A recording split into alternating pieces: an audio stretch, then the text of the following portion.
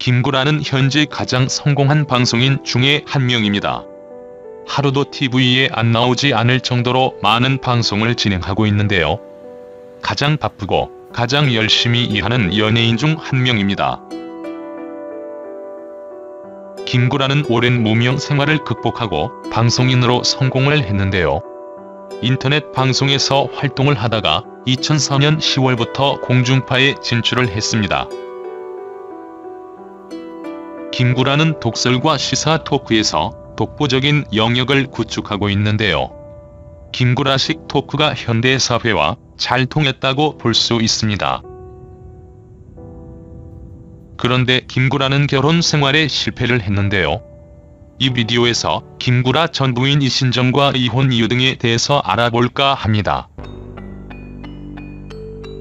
김구라 전 부인 이혼 이유 김구라 아내 이신정과는 1998년 결혼을 하고 같은 해 아들 김동현을 얻게 됩니다. 김구라는 1993년 SBS 2기 공채 개그맨으로 데뷔를 했는데 별다른 활약을 못하고 공중파에서 사라졌습니다.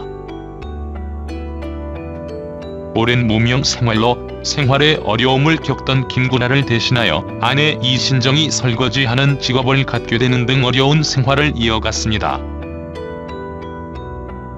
2004년 김구라가 공중파로 입성하기까지 수입이 굉장히 적었고 생활보호 대상자였습니다. 자존심 그런 거 따질 여유가 없었다.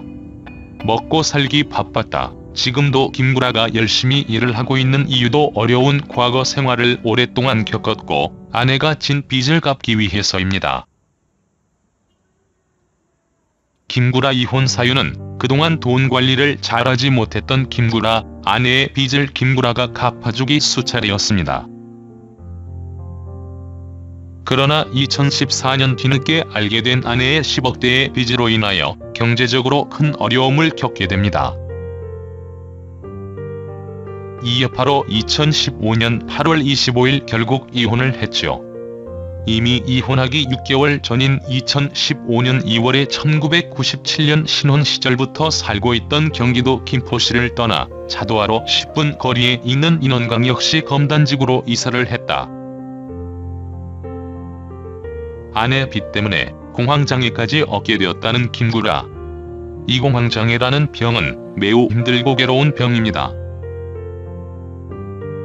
저라도 아내가 17억 빚이 생겼다면 공황장애 오겠네요. 김구라 씨가 1년에 수십억씩 버는 연예인도 아니고 말이죠. 물론 무조건 김구라 씨 아내를 욕할 수만은 없습니다. 보증 문제와 관련하여 형제를 모른 척 할 순 없기 때문입니다. 하지만 그럼에도 이번 이혼에는 아내분의 잘못이 매우 큽니다. 김구라 씨 아내는 크게 두 가지를 잘못한 것으로 보입니다.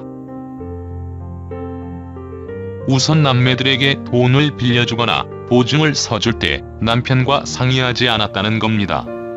부부가 왜 부부일까요? 무엇보다 돈 관련 문제는 반드시 배우자와 상의해야 하는 겁니다. 특히 자신이 경제 활동이 없거나 미진하고 신용불량 상태였는데 남편과 그런 상의를 하지 않았다는 것은 김구라 씨 아내분이 매우 큰 실수를 했다고 생각되네요.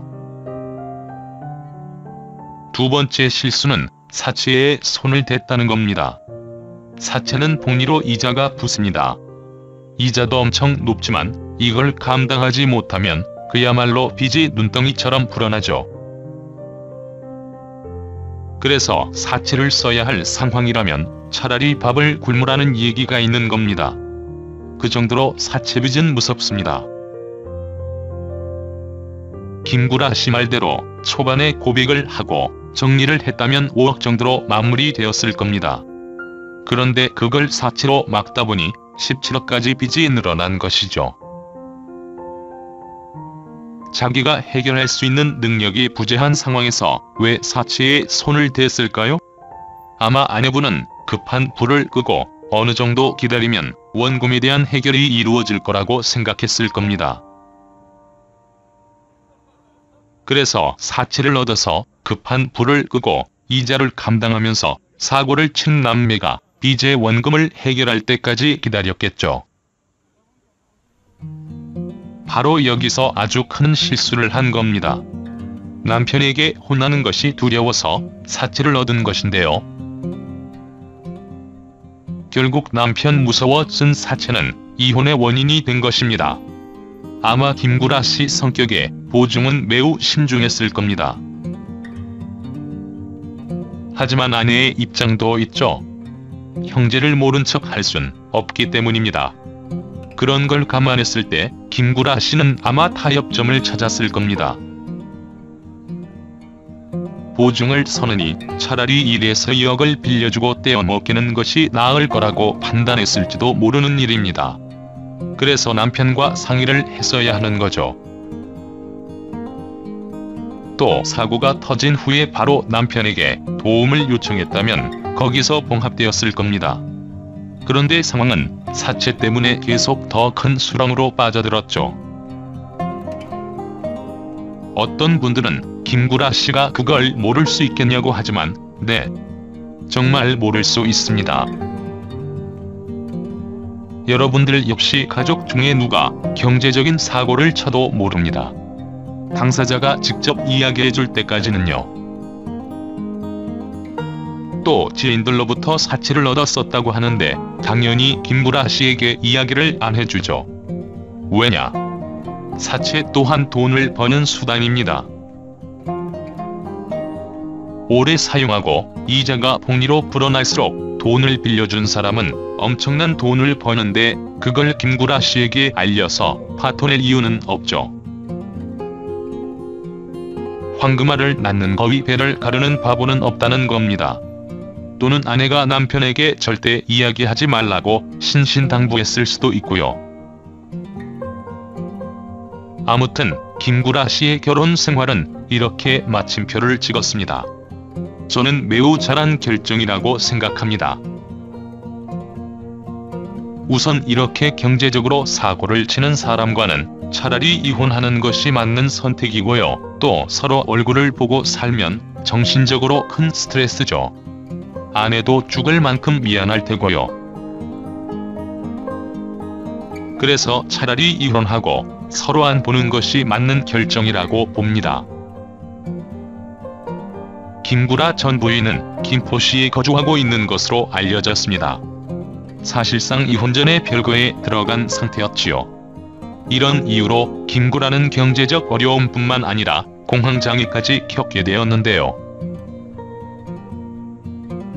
자신에게 정신적 상처와 경제적 막대한 손해까지 입힌 부인과 이혼을 하면서도 부인의 잘못으로 생긴 거액의 빚을 자신이 책임지고 모두 갚는 등 의외의 모습을 보여주고 있습니다. 또한 본인은 속물 컨셉, 돈이 최고다라고 말을 하면서 후배들이나 지인들에게 베푸는 걸 아끼지 않는다고 하지요.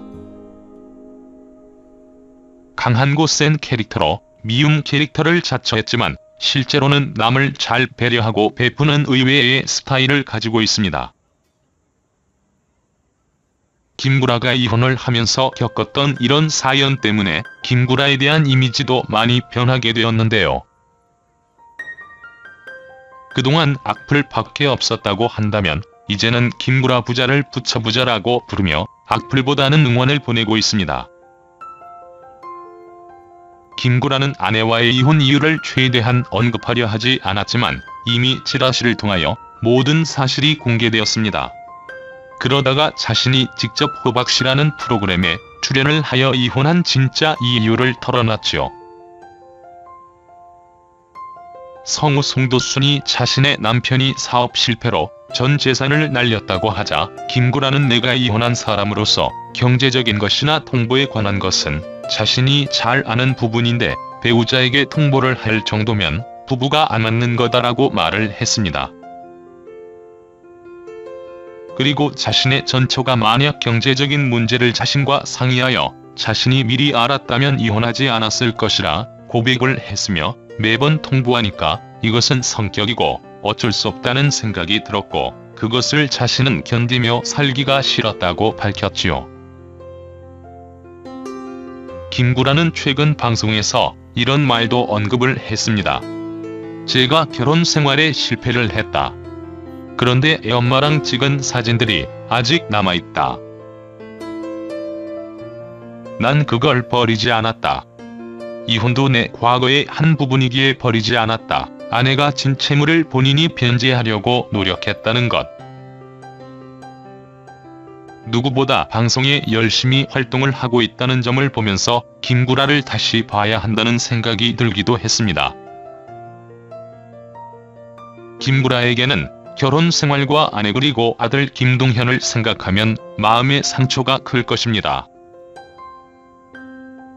이런 것을 잘 극복하고 방송 활동을 열심히 하고 있는 김구라를 응원하며 아직 남은 인생이 더 긴 만큼 자신이 행복할 수 있는 인생을 살아갈 수 있기를 바라겠습니다.